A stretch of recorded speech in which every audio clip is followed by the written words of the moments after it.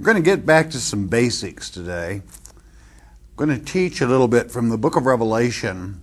We're going to title it, as you see there, The Seven Seals and the Seven Trumps. Now, never let any man tell you that the book of Revelation is not to be understood. Because the very word itself means the unveiling. That's the name of the, whatever title or language, rather, you wish to translate it in, it means the unveiling or the revealing or to make known. So you're supposed to understand. But there is one very simple step that you must go through, or you're never going to understand. The book of Revelation, any of Christ's parables, are the Word of God as far as that's concerned. And inasmuch as we're talking about the seals, let's go to the fifth chapter of that great book of Revelation. And let's learn first, before we begin on the seals, how it is that we can understand them. Chapter 5, verse 1, and it reads, we're going through this rather quickly, just hang right on. And I saw in the right hand of him that sat on the throne a book written within and on the backside sealed with seven seals.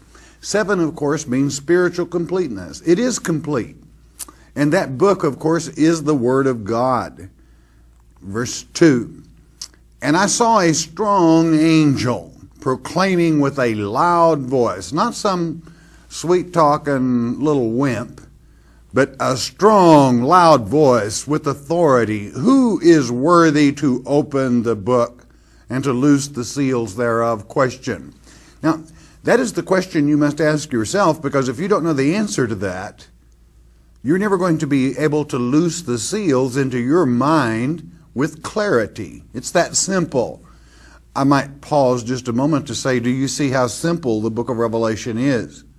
He takes you through the question. He's going to tell you now how that you acquire the information to understand it. Verse 3 and no man in heaven, listen to it, nor in earth. So if you're looking for a man to do it for you, forget it. There's no man in heaven, nor is there any man on earth, neither under the earth, uh, meaning uh, to the netherworld, meaning Satan or any of his little troopers, was able to open the book, neither to look thereon. Couldn't handle it, couldn't understand it, couldn't do anything with it. Verse 4 and I wept much. Old John just let the tears stream.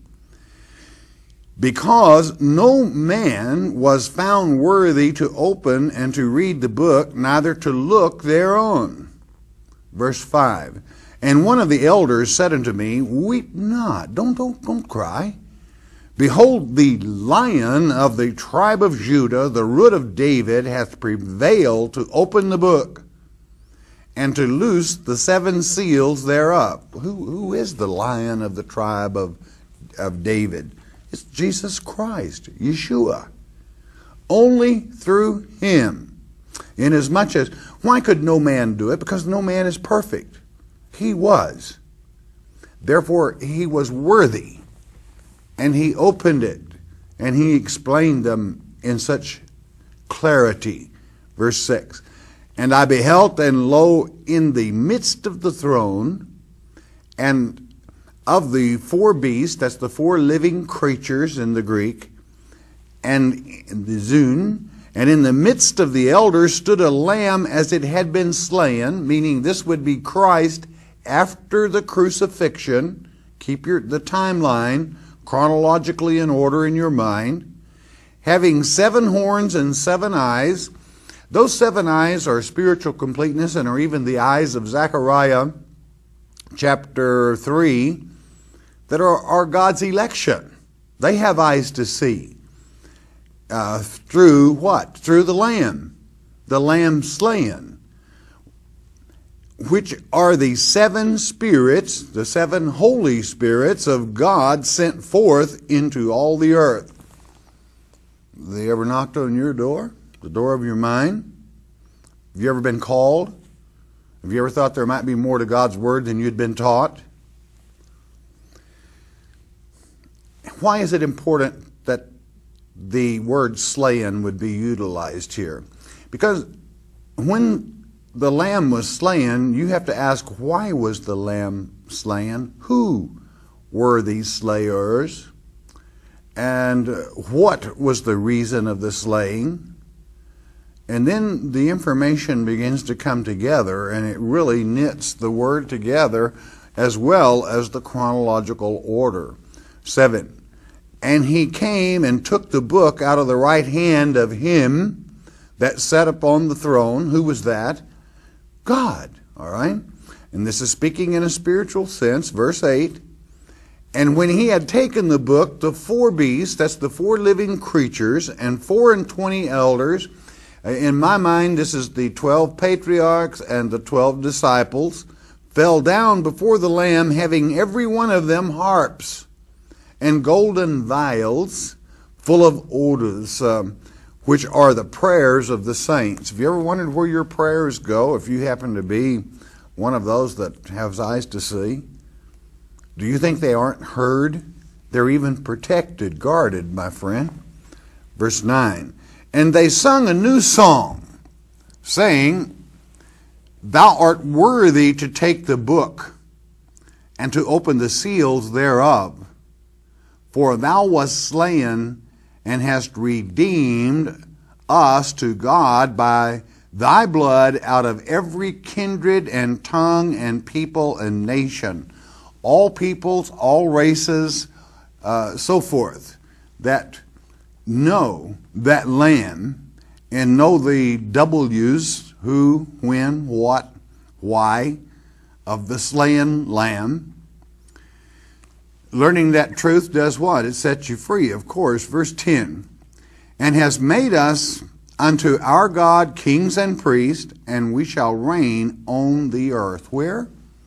Where are they going to reign? Who is Christ bringing with him? And for what? In some cloud floating around? No. On the earth. 11. And I beheld, and I heard the voice of many angels round about the throne, and the beast and the elders and the number of them was 10,000 times 10,000 and thousands of thousands. Don't you ever let someone believe you that, or tell you that those that have been slain on earth for the word or have believed upon God are laying in some hole in the ground. They're with him already. To be absent from this body is present with the Lord. 12 saying with a loud voice, Worthy is the Lamb that was slain to receive, listen to it, power one, and riches two, and wisdom three, and strength four, and honor five, and glory six, and blessing seven. The seven things that are the mark of those that are his children, those that follow him. Verse 13. And every creature which is in heaven, and on the earth, and under the earth, and such as are in the sea, and all that are in them heard I saying, Blessings and honor and glory and power be unto him that sitteth uh, upon the throne, and unto the Lamb forever and ever. Not a fleeting moment, forever. 14. And the four beasts said, Amen that is as it is, in other words. And the four and twenty elders fell down and worshipped him that liveth for ever and ever. The seal is released. In what? And through who? Through Christ. Through his teachings. We're about to go into the seals.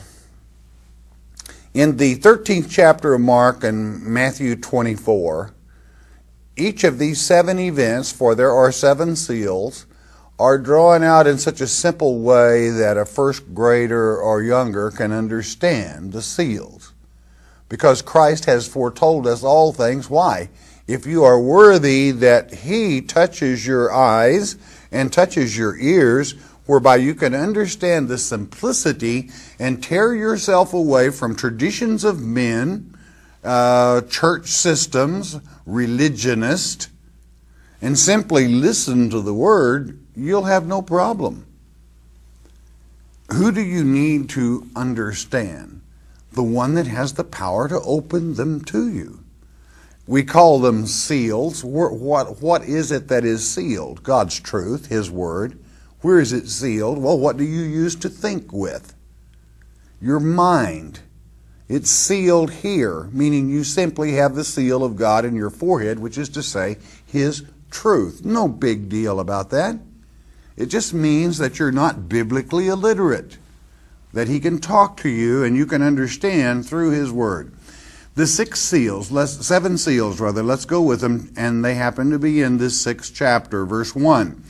And I saw when the Lamb opened one of the seals, I'm going to let you look, friend, and I heard as it were the noise of thunder. That means the voice. Uh, one of the four beasts saying, Come and see. You're going to get a look at it.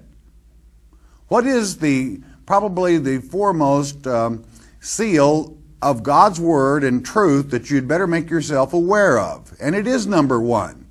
It's not in chronological order as the trumps will be, which we'll cover in the next part of this um, lecture. That is to say, the one following. Verse 2. And I saw. I mean, I could see it. And behold, that means look, look at it. A white horse. And he that sat on him had a bow and a crown was given unto him. I mean, he's going to be a king. And he went forth conquering and to conquer. Whatever could that mean? Well, let me give you a little lesson in Greek here on the word bow. It certainly isn't the bow of chapter 4 that is around Christ and the throne of God, which is the Shekinah glory that uh, as the rainbow brings forth through the prism the bands of all colors and light, uh, described as a rainbow, which you look up and see that beautiful cover, color. This word is toxon in the Greek, and it means, if you would, um, it means uh, a cheap fabric imitation. I say again, a cheap fabric imitation.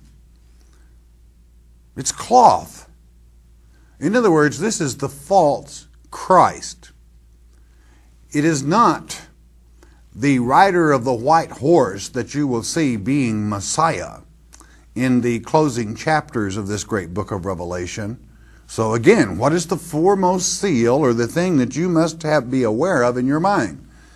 That there is one coming before the true Christ comes that is right, it looks just like him, rides a white horse, has a, a, a cheap imitation bow, or that is to say, glory so called around him, and he's going to be allowed to wear a crown.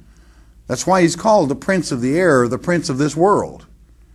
You're going to have the king of this world before there's any gathering back to Christ by anyone, and you had better be sealed in that, or you will be deceived, period.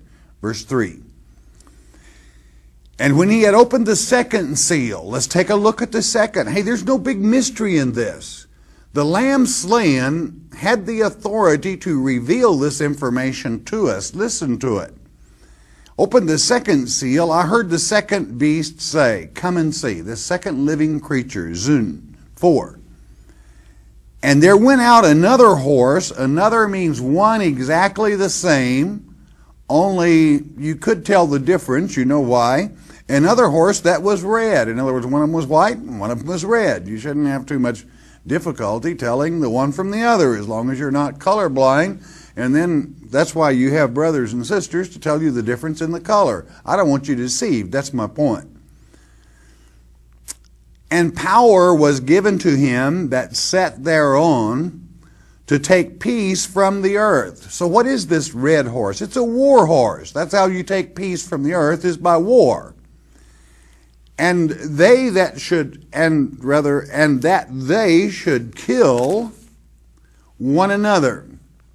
And there was given unto him a great sword.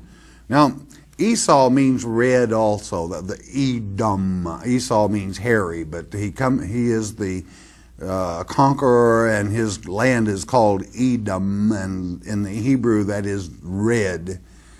Um, we know that the sword that will destroy him is the word of God, which is a uh, comes from Christ's mouth, the same lamb that cuts both ways.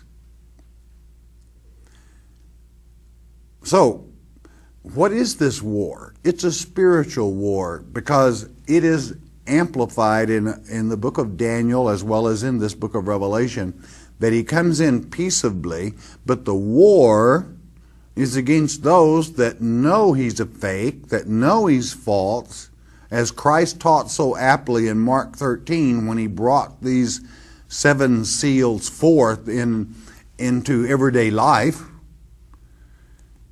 Um, that there would be a war, if you would, of the spirits, of deception.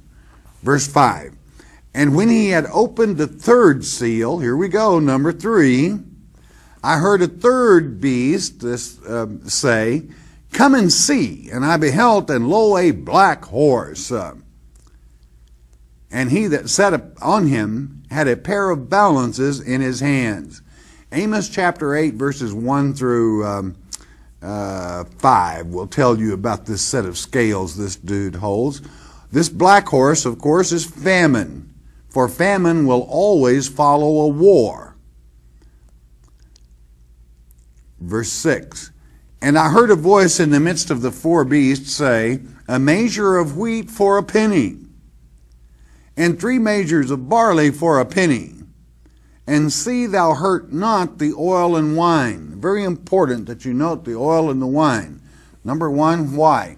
The oil is the anointing oil of our people, and the wine is that blood of the Lamb that was slain. To those that have eyes to see and ears to hear, don't hurt that meaning don't touch God's elect while you're going through this. But what is this penny? It's it's a denarius, which um, it would take probably a day's salary, and it would buy like a loaf of bread.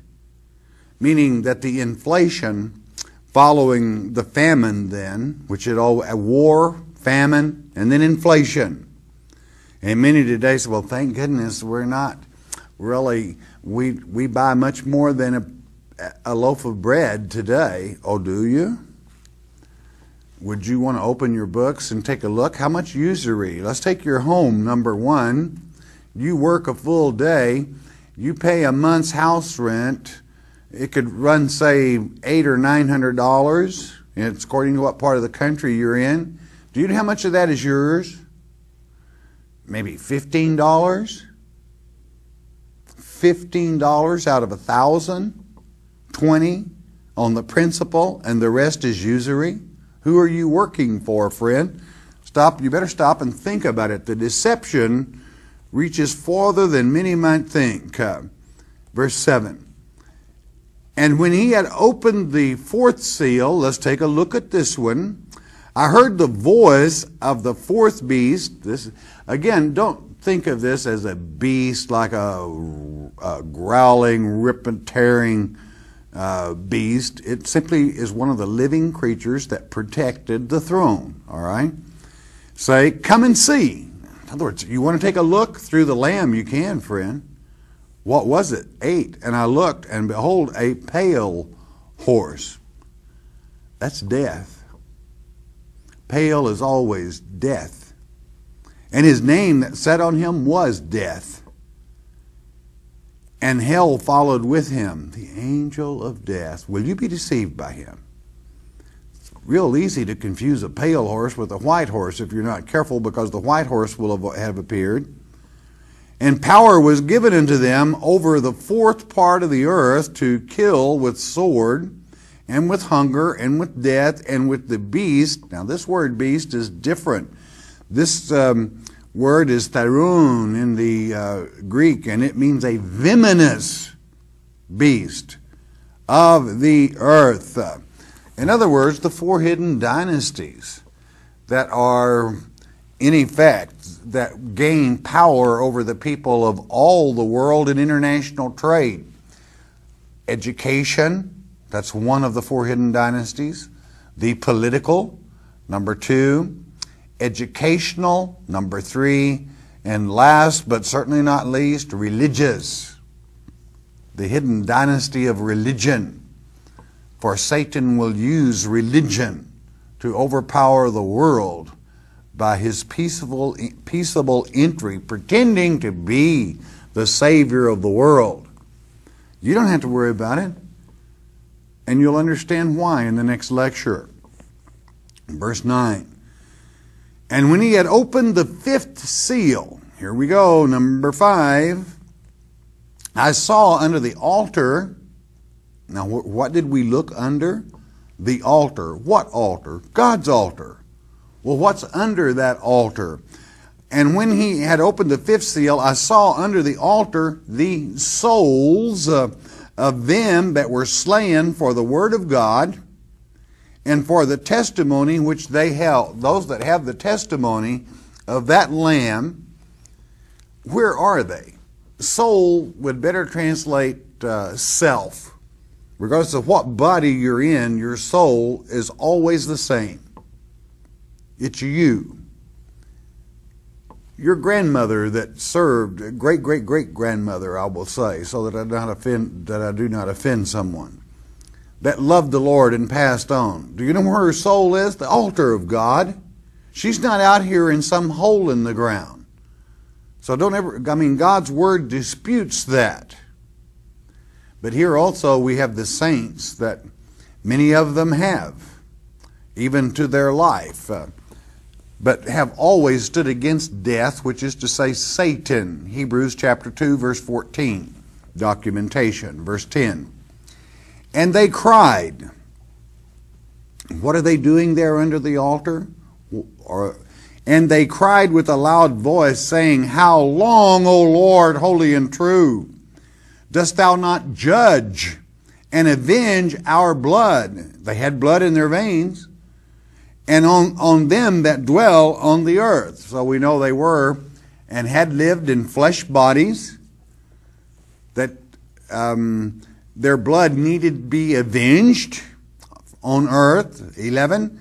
And white robes were given unto one, uh, every one of them, and was said unto them, and it was said unto them that they should rest yet a little season, just a little while, until their fellow servants also and their brethren that should be killed as they were should be fulfilled.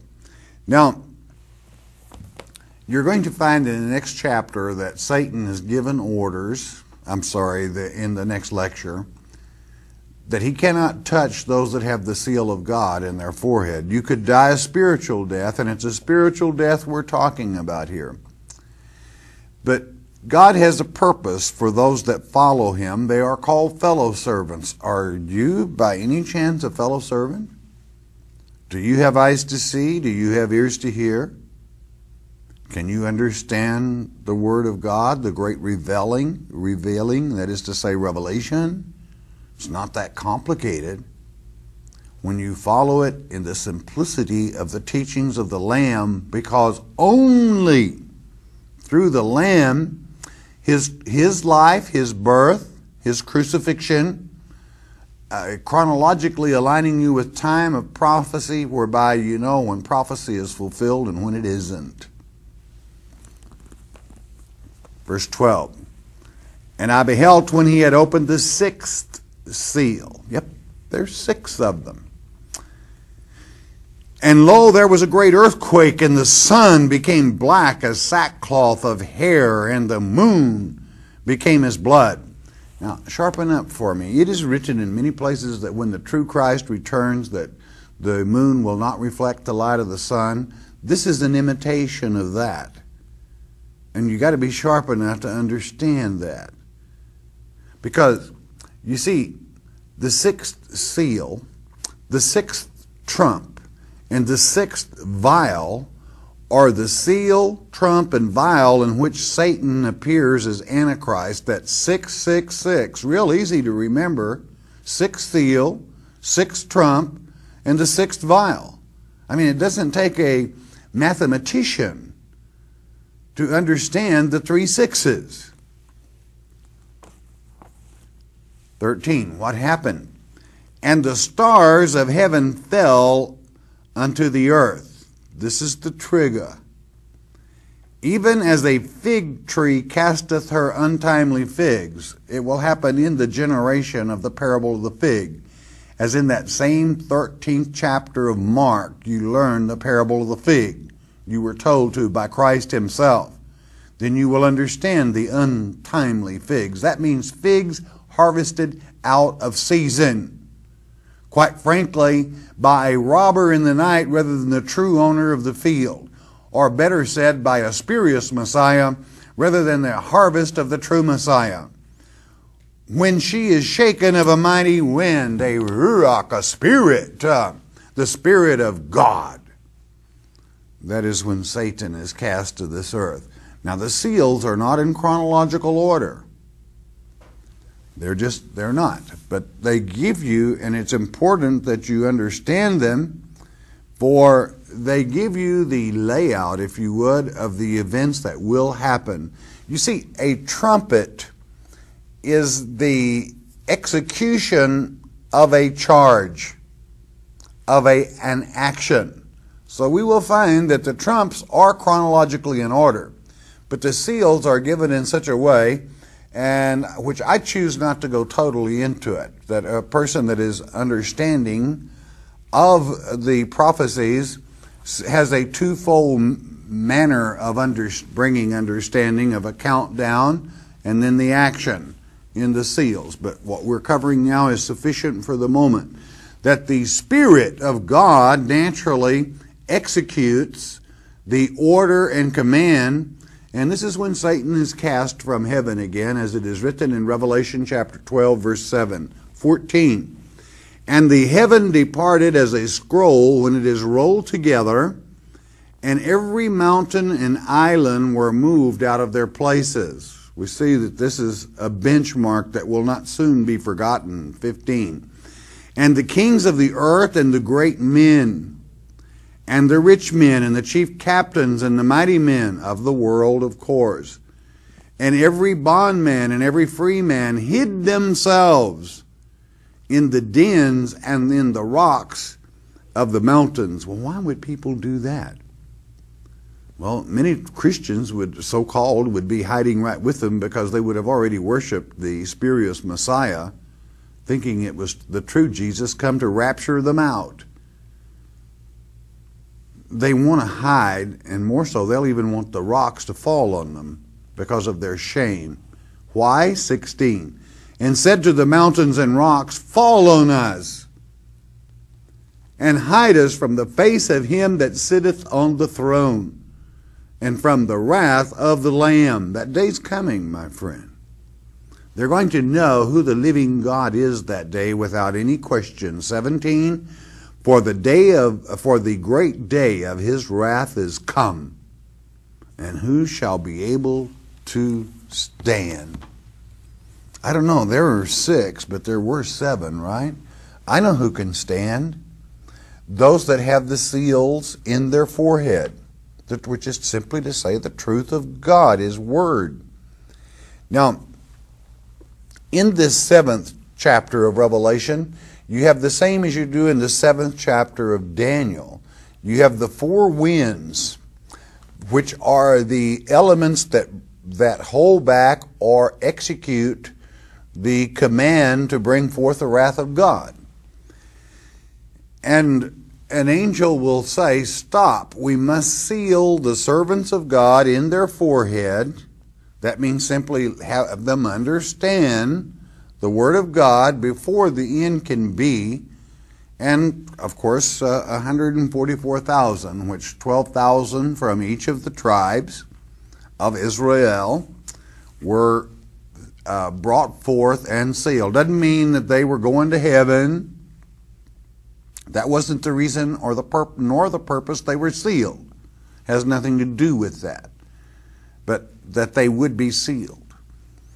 And that consists that is to say, the information that, that consists of the sealing takes place within that seventh chapter.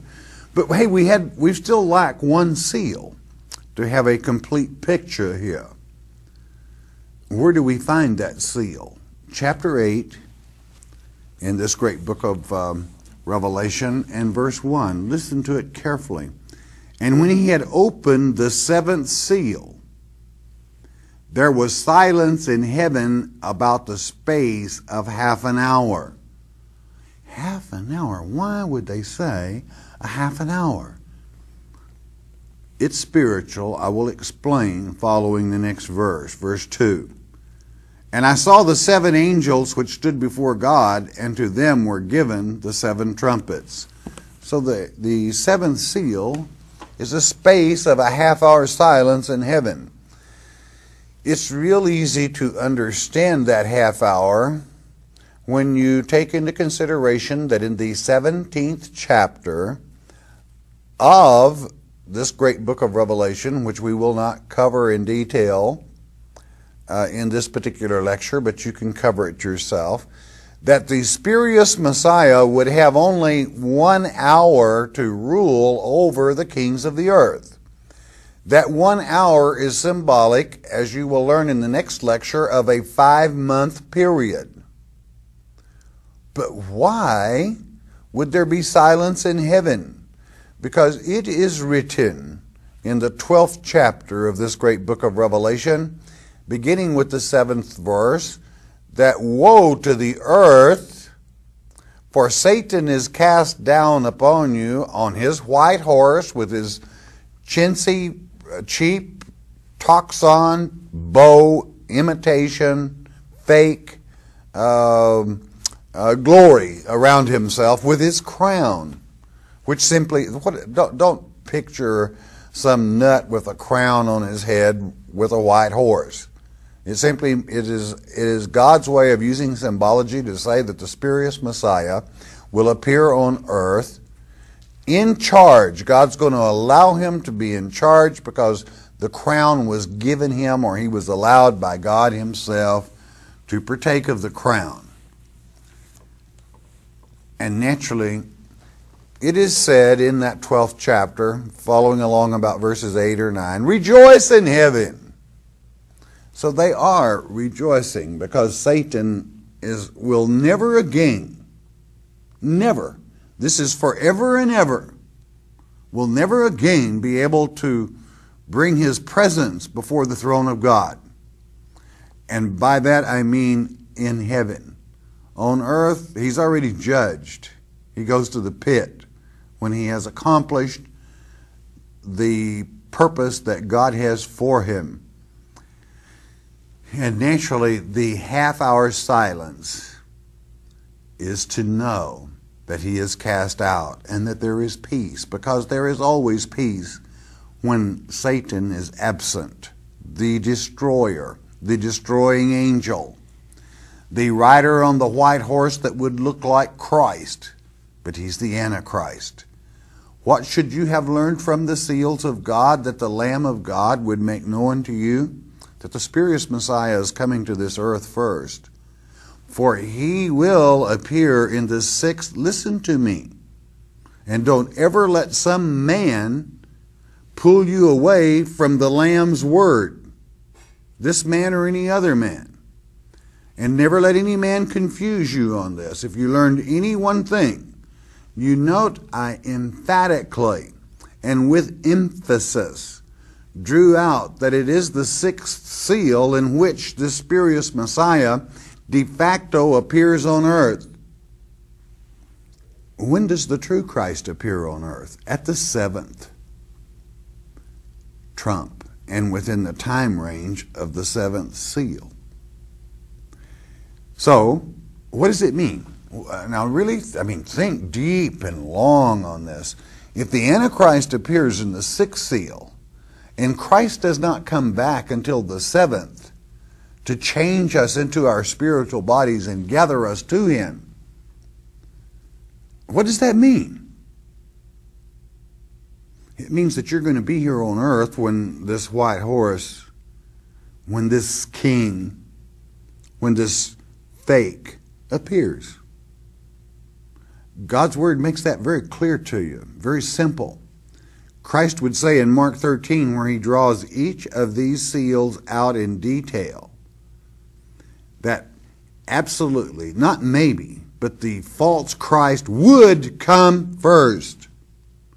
Why is it that some people can't see that? Because they're biblically illiterate. They never study the Word of God. They listen to men and they listen to religious systems, denominations. And I love them all. Hey, they're doing their best trying to row upstream instead of turning the boat around and going with God's current. It's so much easier you know, to go with God's current, which is the Spirit, the Word. What have you learned concerning the seals? As I said, I was going to keep this particular lecture very basic, perhaps for someone that wants to begin a study. That there's only one way that is to place your prayers in the vial, that is to say, make them, present them, ask for understanding with whatever else you may pray for, for it is heard, and uh, the knowledge will be simplified, whereby you, you will always find that God's Word is just common sense. Though symbology is used, it's as though he's teaching children. Because symbology makes something very easy to understand. That's how he has handled the seals here. He even declared unto you that they were in the book, that there were seals on that book. And the Lamb of God slain that is to say, Christ after the crucifixion would set in order the chronological order of events that would transpire, whereby in your mind you could receive them and recognize them on the earth today when they come to pass. It's that simple. He's even simplified it past this I have a work, Mark 13, Matthew 24, Christ's words of the end. Those seven things are in that, in our Revelation series concerning that sixth chapter. I go back to Mark and back then to uh, chapter 6, and you see the simplicity in which Christ teaches. So, there's no excuse to not understand what's before us. Man only fears the unknown. Why would you wish to be in the dark about God's Word when Christ has made it so simple for us? Don't miss the next lecture. The seven trumps are kind of like the frosting on the cake. We'll cover them in the next lecture. Okay, let's get let's quickly we'll get into some questions here, okay? Now we're going to go to Charles from California. My question is about Ha'adam. Where, am, where can I document this? I couldn't find it in my concordance, and I need it for some people that have questions about it. Please comment. Well, Charles, it's the Hebrew manuscripts that say this. It's two separate words. Ha, H A in Hebrew, is the. it's like T H E in English. And Adam is the ruddy complected man. That's, that's what the word Adam means in the Hebrew language, in God's language. And to show blood in the face. It's real simple. All you have to do is, uh, I can tell you a way. If you're not going to use them, it'd be quite a waste of money to not um, to not use them to study. But first, you have to have a set of the Hebrew manuscripts of the Word of God. And the least expensive way to acquire them is the set of Green's works that we carry, the Green's Interlinear, here in our library. And then you simply turn to the place that it speaks of the Adam, not Adam, Ha-Adam, the. It's just like the difference you could say Christ, and to a linguist, you would say, which Christ? For you see, there's the false Christ and there's the true Christ. And when you're dealing with languages, you should think as a linguist would think. and try to understand. Um, uh, many, many times uh, we would say the Christ. Well, to us, we would know who that was. That's why we call this the Shepherd's Chapel. Some might think I was claiming to be the, the shepherd. I'm not. The shepherd is the shepherd of shepherds, which is to say Christ. That's all that Ha'adam means, okay? I hope that advice helps you. You can, you can explain that simply by repeating what has been said, for it is true. Paul from Florida. I have a question about the earth ages. There are three supposed ages. Well, they're not supposed, there are. Uh, 2 Peter chapter 3 declares that.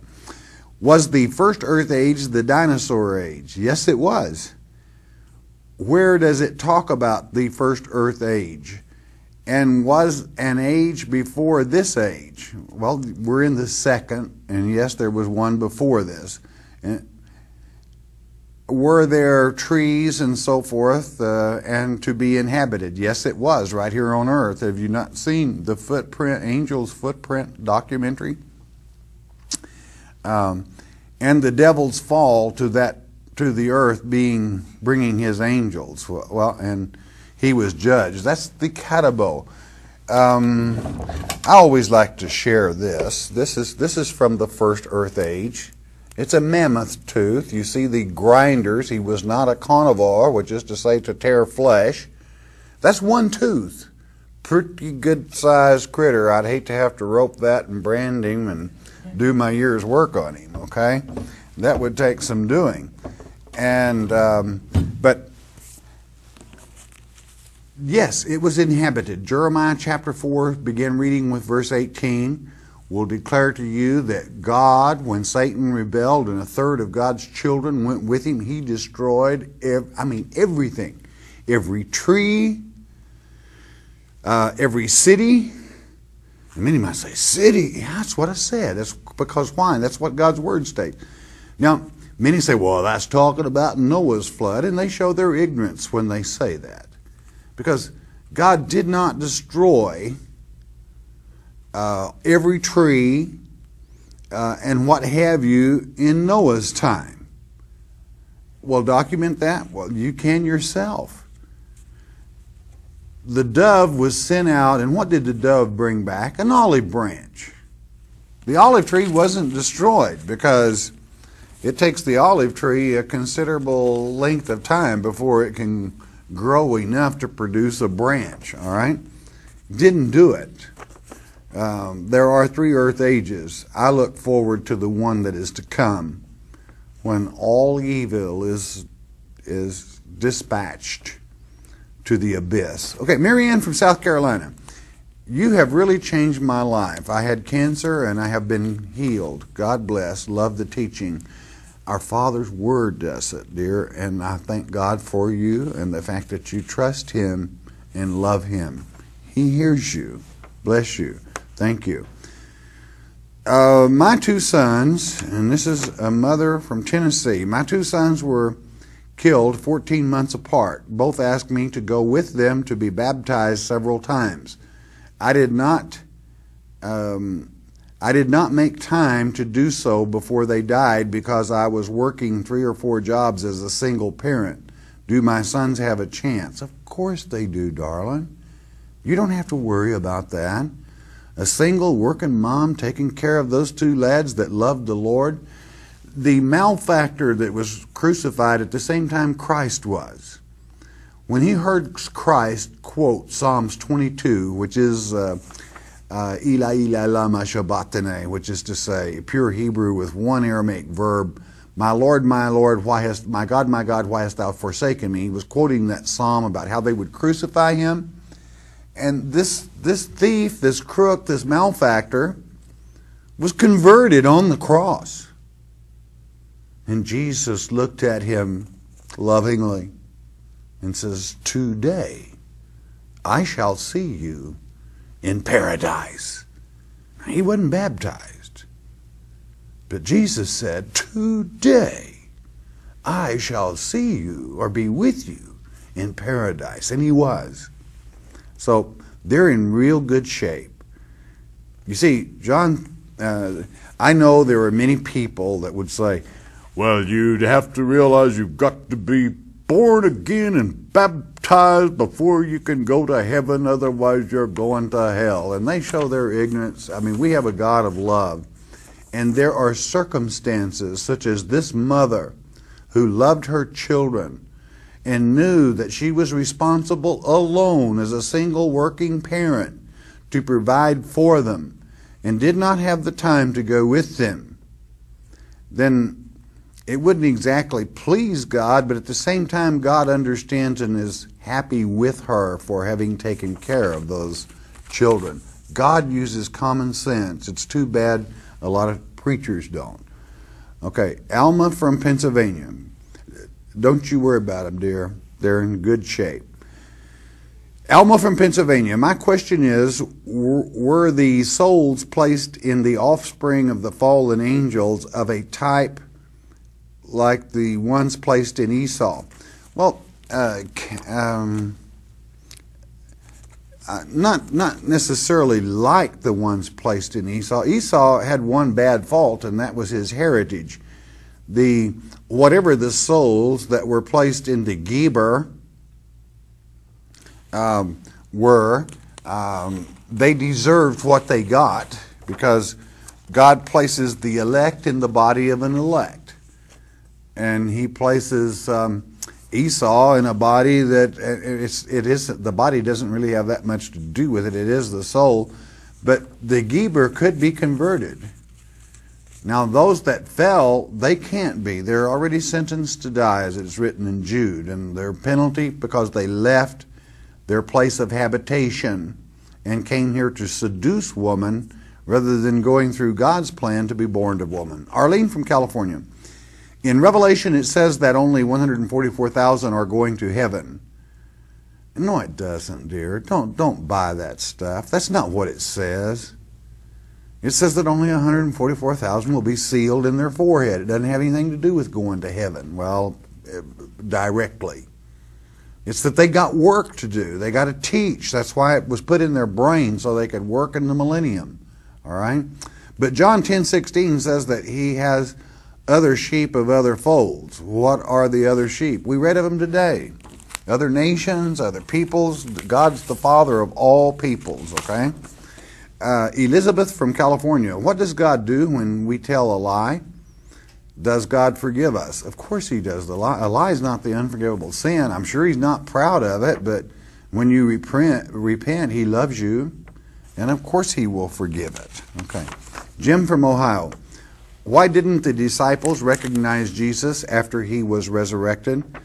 I know they did after a while, but why not? Um, why not at first? Please clarify. Um, I'm trying to think in Luke 24. Is it 41? I'm going to have to look. I, I, I just went it will answer your question for you. I know what the answer is, but i have forgotten exactly which verse it is in Luke 24. Um, okay, and uh, they, okay, verse 11 and their words seemed to them as idle tales, and they believed them not. That's when they went there. Am I? I'm in Luke, okay. And behold, two of them went that same day, verse 13, to Jerusalem. It was about three score, about seven and a half miles away. And they talked together of all these things that had happened. And it came to pass, listen carefully, that while they communed together and reasoned, Jesus himself drew near and went with them. Here's your answer. It's in verse 16. But their eyes were holden and they sh- that they should not know him. Their eyes were holden. That means that God closed their eyes so they wouldn't know him. Why would God do that? For you today to know that you better be real careful or you're not going to recognize the true Christ yourself. You'll accept someone else. It was done for you. that it's very hard for flesh man to believe and to understand, even when they walked with Christ on the earth, that he would raise from the dead and also that he would return.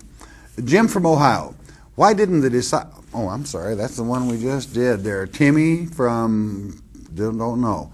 How do I know that your interpretation of the Bible is correct? with so many interpretations, that is, there is a lot of confusion. I would love it if you were the one that is accurate, but I'm concerned because you never know who to believe. Please comment. You got the Word of God. Who's teaching the Word of God and who teaches you how to use tools so that you can check it out for yourself? I do. Does that mean I'm right about everything? No, I've made mistakes. Let's see, the last one was I think it was in 1960. I can't remember for sure. It's been so long since I made a mistake. I jest. All right. Anytime someone teaches you how to check them out, mainly to drive you into the Word of God, for my my son, that's where the truth lies, not in man. All right. Uh, learn to study for yourself. You'll never have to worry. Uh, okay. Now, I'm out of time again. Hey, we're going to pick up the trumps tomorrow in a very basic way. What am I doing? Well, I'm showing you that God's Word is so easy to understand if you listen to it rather than traditions. Just let God's Word flow like honey over the buds of your mind. Now, uh, we're brought to you by your tithes and offerings. If we've helped you, you help us keep coming to you. Once you do that, do you know something? Bless God, and He will always bless you. This world, at this time, needs our Father's Word. I thank Him for the platform that He has provided for this small church in Northwest Arkansas. This is most important. You stay in His Word every day, in His Word's a good day because Christ is the living Word.